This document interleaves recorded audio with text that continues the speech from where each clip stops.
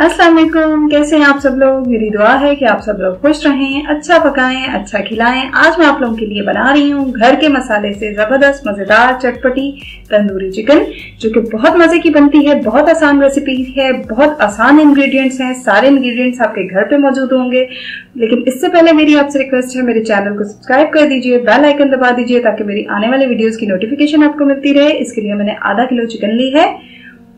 और एक पाव मैंने इसके लिए दही ली है, कश्मीरी लाल मिर्च दो टीस्पून ली है, कुटी लाल मिर्च एक टीस्पून ली है, लहसुन अदरक का पेस्ट दो टेबल स्पून नींबू का रस दो टेबल स्पून और एक दरमियानी प्याज का मैंने पेस्ट बना लिया है।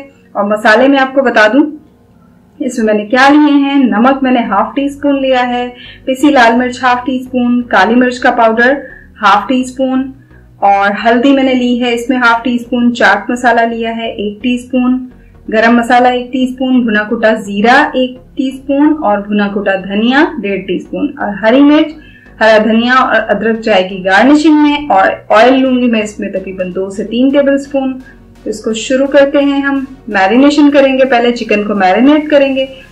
चिकन में मैं दो टेबल स्पून लहसुन अदरक का पेस्ट डाल रही हूँ। इसमें सारे मसाले वो हैं जो आपके घर पे अवेलेबल होते हैं, घर पे मौजूद होते हैं। घर पे मौजूद मसालों से मज़ेदार सी तंदूरी चिकन बनेगी। इसमें मैंने दो टेबल स्पून लहसुन अदरक का पेस्ट और दो टेबल स्पून लींबू का रस और एक दरमियानी प्याज का मैंने पेस्ट बना लिया था, उसको ग्राइंड कर लिया था, वो मैंने ऐड कर दिया है। अब मैं इसमें मसाले डालूँगी, जो सारे मसाले मैं आपको बता चुकी हूँ।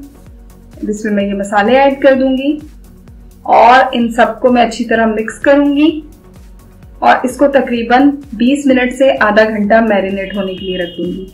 और इसमें मैं थोड़ा सा जर्दे का रंग डालूँगी। इससे तंदूरी चिकन में रंग बहुत अच्छा आता है, देखने में बहुत खूबसूरत लगती है। तकरीबन हाफ़ टी स्पून से भी कम मैंने इसमें फ़ूड कलर डाला है। फ़ूड कलर हमेशा अच्छा यूज़ किया करें, ऑर्गेनिक यूज़ किया करें। अब मैं इसमें एक प्याली दही लूँगी। एक प्याली दही, तकरीबन 250 ml एक पाव दही इसमें जाएगी। और दही के अंदर मैं इसमें डाल दूँगी कश्मीरी लाल मिर्च और कुटी लाल मिर्च। ये आप चाहें तो मैरिनेशन में भी डाल सकते हैं, लेकिन बाद में, दही थोड़ी देर बाद में जाती है चिकन को भूनने के बाद जाती है तो इनका टेस्ट बरकरार रहता है अच्छा सा टेस्ट अच्छी सी खुशबू आती है। इसलिए दही में मिक्स कर लें तो ज़्यादा अच्छा लगेगा।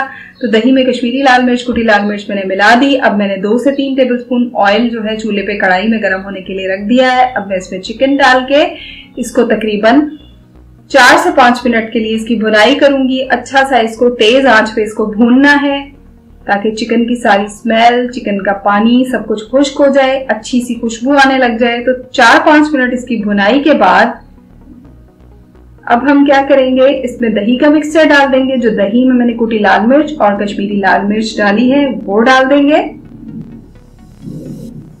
और फिर इसको अच्छी तरह से मैं मिक्स कर लूँगी।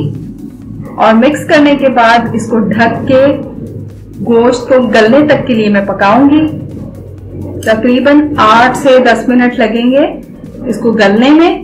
तो इसको अब हम ढक के हल्की आँच पे आठ दस मिनट के लिए पकाएँगे। अब मैं इसके अंदर एक टेबलस्पून मक्खन डाल रही हूँ। इससे इसमें टेस्ट खुशबू बहुत अच्छा आता है। और मक्खन डाल के मैंने सिर्फ़ एक मिनट के लिए ढक के रखा है ताकि मक्खन मेल्ट हो जाए और पूरे में अच्छी तरह मिक्स हो जाए। अब मैं इसको कोयले का धुआँ दूँगी। कोयला जला के पहले से जलने के लिए रख दिया था दूसरे चूल्हे पे। अब मैं कोयले का धुआँ दूँगी, कोयला इसके अंदर रख के उसके ऊपर से ऑयल डाल दूँगी और इसको ढक के एक मिनट के लिए इसको कोयले का धुआँ दूँगी, जिससे इसमें बहुत अच्छा tandoori barbecue touch barbecue flavour आएगा। अच्छे से इस पे कोयले का धुआँ चिकन के अंदर रच बस गया है। मज़ेदार सी, ज़बरदस्त सी तंदूरी चिकन आपने देखा, ये इतनी जल्दी बन जाती है। तकरीबन आपके आधा घंटा मैरिनेशन है और कुकिंग टाइम 15 मिनट में आपकी 15 से 20 मिनट, मैक्सिमम ज़्यादा से ज़्यादा में आपकी तंदूरी चिकन तैयार है। मैं ज़्यादा से ज़्यादा टाइम भी बताऊँगी मैरिनेशन और सारी चीज़ें, आराम से एक घंटे में आपकी तंदूरी चिकन तैयार हो जाएगी। इसको अदरक से, हरी मिर्च से, हरे धनिए से गार्निश करें। इसको घर पे बना के अपने घर वालों को खिलाएँ, मेहमानों को खिलाएँ, अपनी दावतों में बनाएँ। ये बहुत मज़े का बनता है। आपने देखा, तमाम मसाले वो डाले हैं मैंने जो घर में मौजूद होते हैं। आप इसको ज़रूर बनाइएगा, ज़रूर ट्राई कीजिएगा। आप देखें, मज़ेदार सी, चटपटी सी तंदूरी चिकन तैयार है। ये बहुत मज़े की बनती है, बहुत आसान रेसिपी है, लेकिन आप लोगों को पसंद आए तो मेरी वीडियो को लाइक और शेयर करना मत भूलिएगा। मेरे चैनल को सब्सक्राइब ज़रूर कीजिएगा बेल आइकन ज़रूर दबाइएगा और मुझे दुआ में याद रखिएगा। अल्लाह हाफिज।